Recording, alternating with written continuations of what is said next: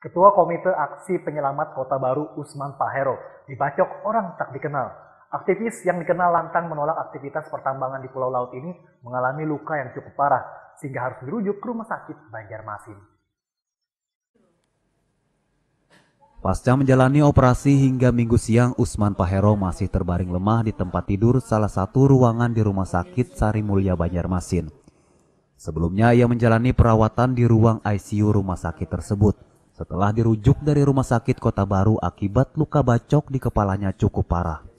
Menurut istrinya Mega, suaminya diserang dua orang tidak dikenal saat mengendarai sepeda motor menuju masjid untuk menunaikan sholat subuh Jumat lalu.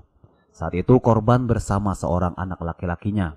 Baik korban maupun anak laki-lakinya tidak mengenali kedua pelaku yang langsung kabur. Meski mengalami luka di bagian belakang kepala menurut Mega, suaminya tetap melanjutkan berkendara ke masjid. Dari masjid itulah ia dibantu warga menuju rumah sakit di Kota Baru. Namun karena lukanya cukup parah, korban kemudian dirujuk ke rumah sakit Sari Mulia dan harus menjalani operasi.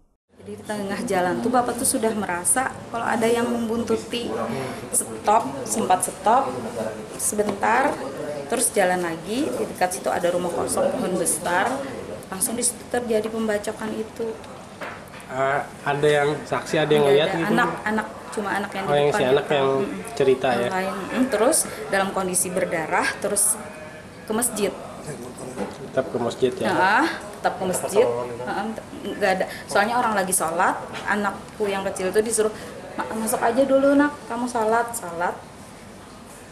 Dia sudah terkapar sampai habis orang sholat baru dia dibawa ke rumah sakit.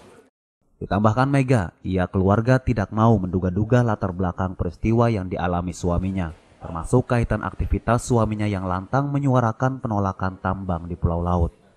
Mega hanya berharap suaminya cepat sembuh dan pelakunya segera ditangkap. Dari Banjarmasin, Denny M. Yunus, Ainus melaporkan.